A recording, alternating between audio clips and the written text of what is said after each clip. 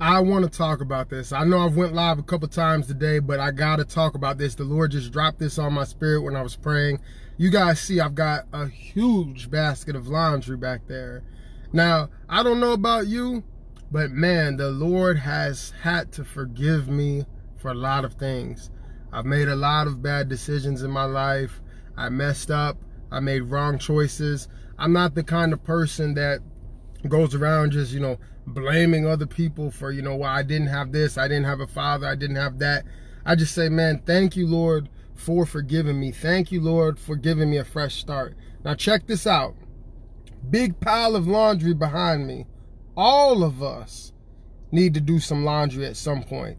And if you don't do laundry, you're going to stink. So we all got to go and we got to wash our clothes at some point. And it's the same thing with Jesus Christ. He's had to forgive all of us for something. None of us are exempt from sin.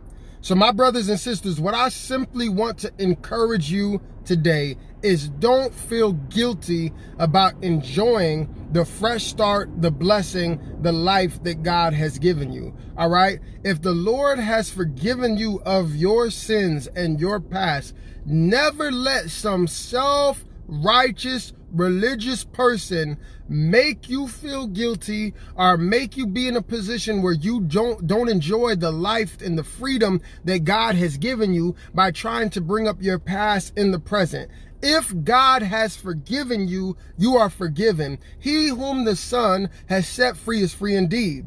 That means that you have the freedom to be blessed. You have the freedom to enjoy your life and have life and life more abundantly. You don't have to feel guilty about being blessed. You don't have to be, feel guilty about being loved. You don't have to feel guilty about a financial blessing. You don't have to feel guilty because other people are not getting blessed. You don't know their hearts. You don't know what they got going on. Maybe they're not blessed because God sees that their heart isn't right. So don't you dare feel guilty. Don't you dare walk around and act like you have to act like you're not happy about what God is doing in your life. We all have laundry. We all have sin. All right. I'm about to go do this laundry. I got to wash it up. It's a humongous pile. And yes, some of us have done some things in this life that you know, we regret. There's people who are in jail for murder. There's people who are in jail for molestation, rape. There's people who are racist and prejudiced. But let me tell you something. God can forgive them all and there's room at the cross for them. So don't you dare hold their past against them. If he's removing our sin as far as the east is from the west, they have freedom. They have liberty to be everything that God has called them to be, to operate in every position that God has for them, to get every promotion that God has for them, to have every blessing that God has for them, and they don't have to apologize. They don't owe you an explanation of why they're blessed. Go ask God if you're worried about them being blessed. And I say this all the time. If you're upset when you see your brother and sister get blessed, you lack faith and you need to be delivered from envy and jealousy.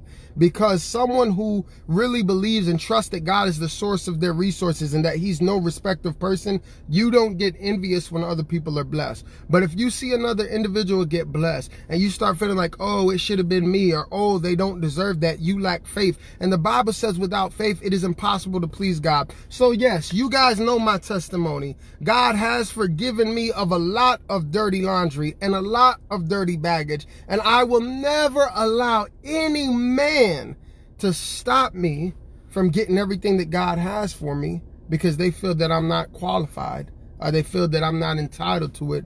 When the Lord says that when I got saved, I'm a heir to the promise of Abraham.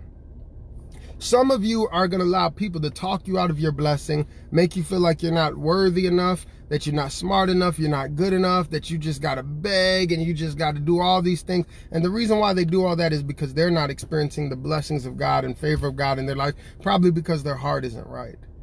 So, my brother and sister, don't apologize to anyone for being blessed. Don't apologize to anyone for your passion for God. You know what He's forgiven you of. You know what he set you free from. You know what he's brought you from, right? So don't let other people dictate how your relationship goes with God and how you enjoy this new life that God has given you. Love you guys. Be blessed and encouraged in Jesus' name.